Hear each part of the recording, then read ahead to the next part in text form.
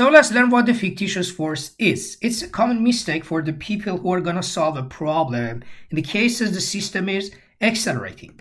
Let's say you are in a car like that and the car suddenly accelerates forward. You feel that something is pulling you back to the opposite direction of acceleration. This is called fictitious force. Is it a real force? You feel inside the car, you feel it's real. Can we use that in solving the problem? No, you can't. This is what Newton said. What should we do? So let's learn it from the scratch.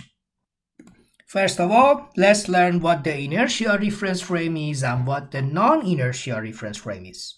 You are in a train which is not accelerated. You could be at rest or moving at a constant velocity, same direction, same magnitude. You are in a very proper reference frame because you don't feel any fictitious force. So this is a real inertia reference frame.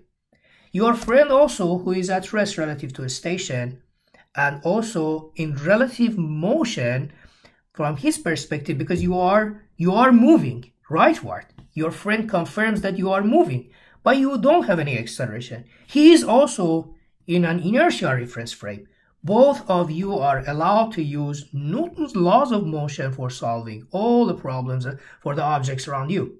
So an inertia reference frame is a reference frame which is not acceleration, okay, or, or could be at rest. Motion has no problem, but it, it shouldn't have any acceleration.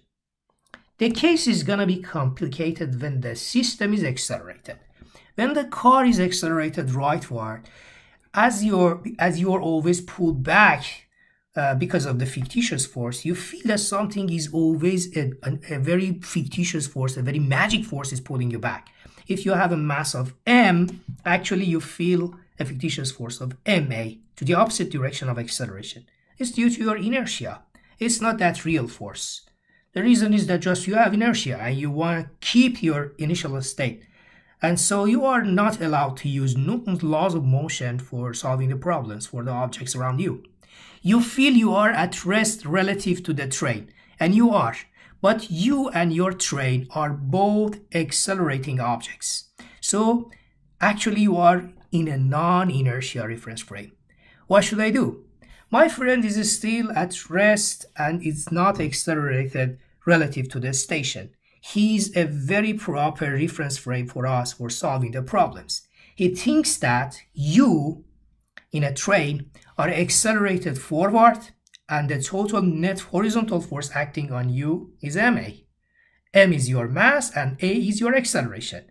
Again, I emphasize, you have the same acceleration as the car. The reason is that you are part of that. So from now on, we do not use Newton's laws of motion for the non-inertia reference frames. These are not the proper reference frames for solving the problems. We always use an inertia reference frame and let's say how. Again, you are in a train. The train has no acceleration and everything is okay. We, we say acceleration is zero, the pendulum is, as it is at rest, the pendulum has no acceleration, you are in an inertia reference frame and you are allowed to use all Newton's laws of motion here. Let's say the uh, total force acting on the pendulum is zero and according to you there is a tension of the string like that and a downward force of mg. They are equal. Yeah, t is equal to mg, no acceleration. So far everything is okay. Okay, again I give acceleration to the train. When the train is accelerated rightward, immediately the pendulum is deviated leftward. Uh, of course, it stays there. And you may think that, okay, the pendulum is at rest relative to me. So let's say, again, the pendulum is in equilibrium. But it's not. It is not in equilibrium. The reason is that all the system is accelerated. You are accelerated. The pendulum is accelerated.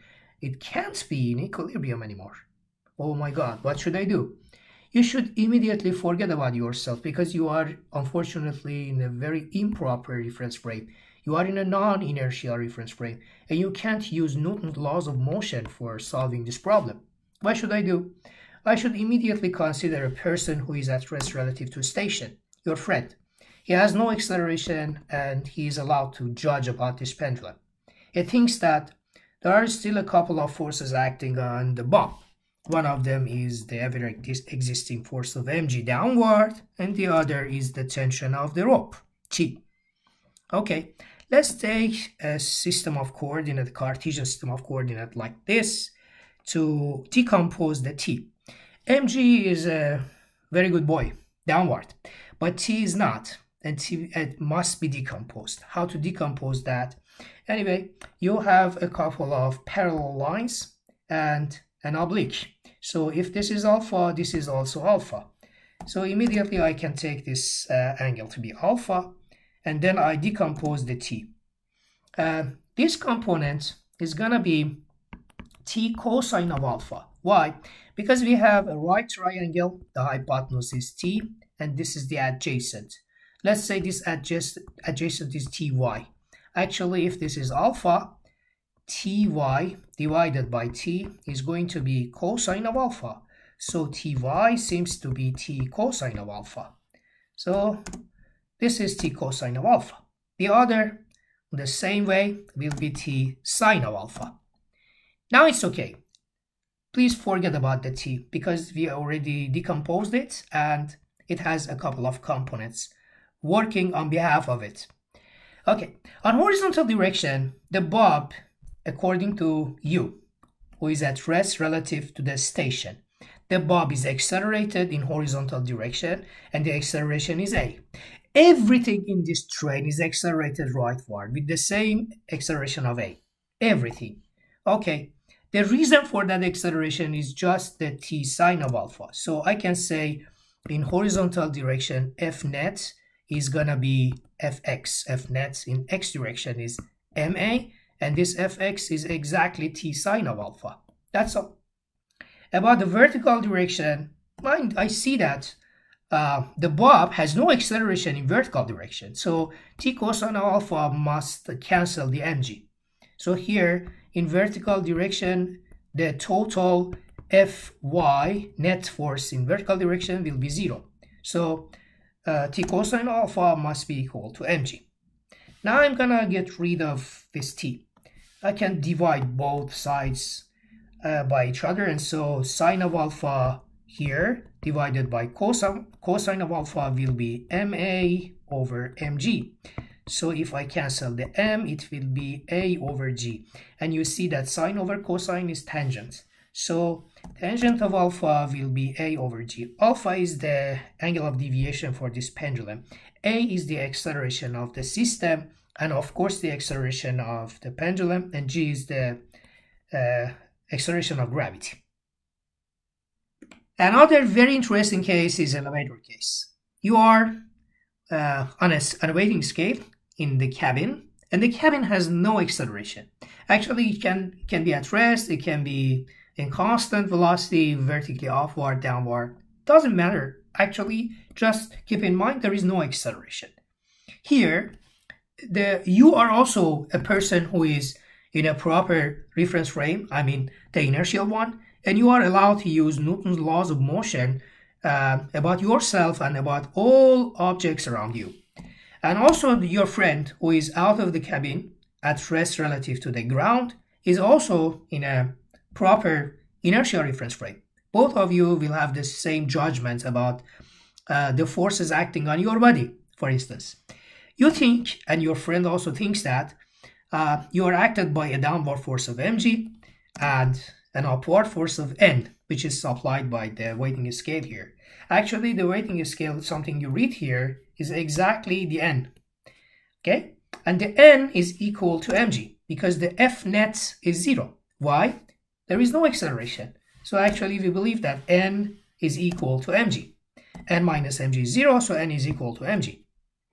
So far, it's very easy case.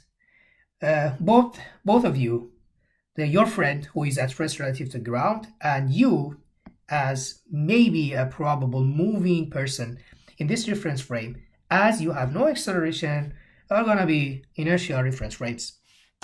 The other is when you have acceleration. The cabin is accelerated upward. I don't think necessarily the cabin may go upward. No, acceleration is upward. So from now on, you are not the, the, in a proper reference frame. You are unfortunately in a non-inertial reference frame and you are not allowed to judge about yourself and the forces acting on you. What should I do? I should ask my friend who is at rest relative to ground. He thinks that the elevator, you, and the weighting scale all are accelerating upward.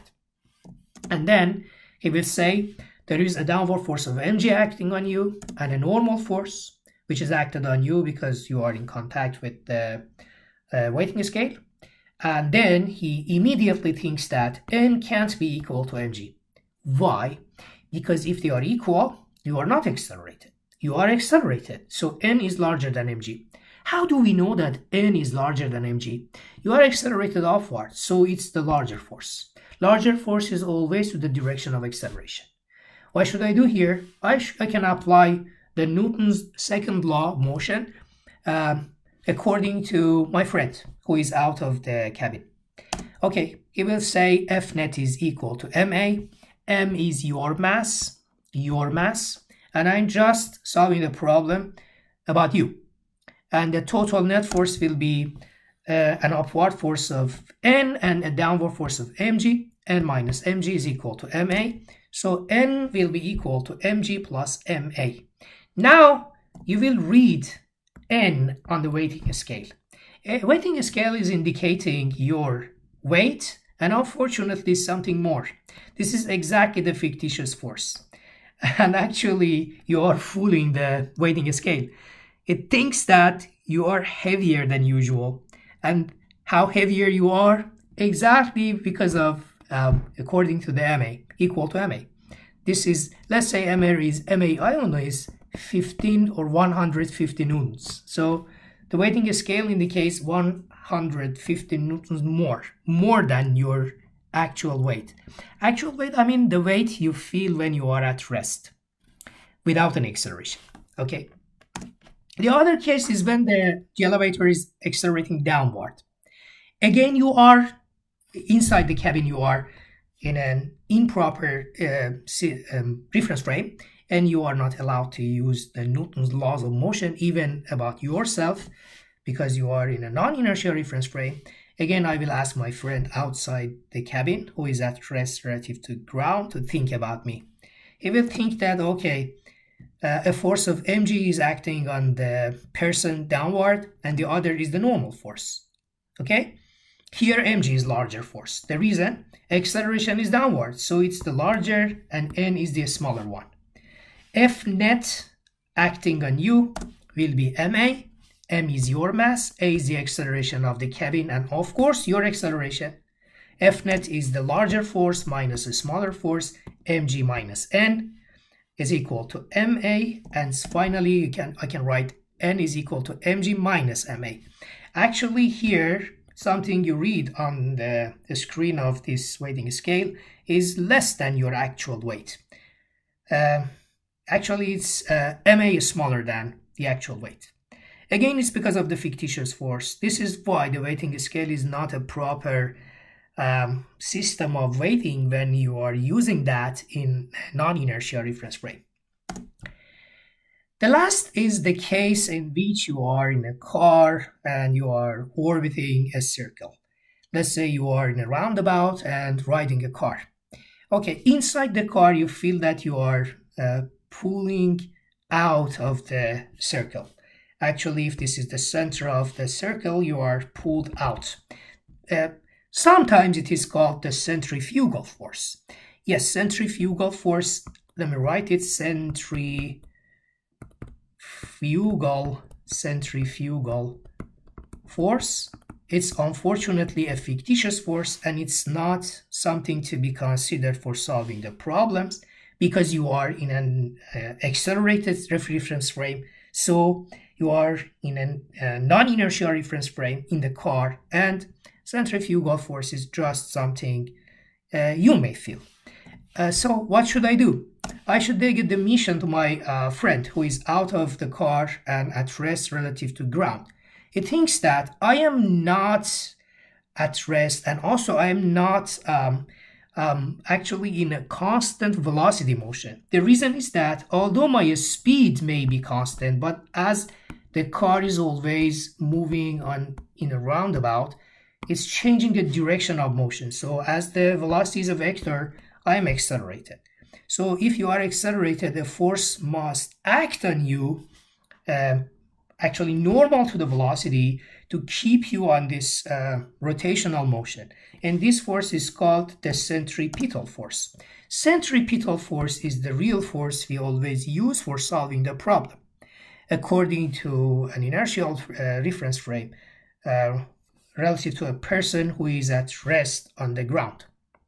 So instead of um, centrifugal force, which is the judgment of the people in the car, we always use the centripetal force as a very important actual force acting on you when you are orbiting a circle.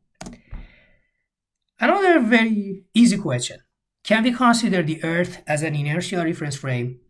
The answer is a big no. The reason Earth has a spin. When something has a spin, objects on that object, like you, will have a rotational motion. And that rotational motion will bring a non-inertial system for you, so you are not in a proper reference frame. More than that, you, you know that the Earth also is orbiting the Sun. And that orbital motion, of course, will bring another non-inertial reference frame for you. But how can we use always the Newton's laws of motion when you're solving the problems on the Earth? It's an approximate. Actually, we ignore those fictitious forces. And again, thank you very much for being with me. Take care. See you in the next video.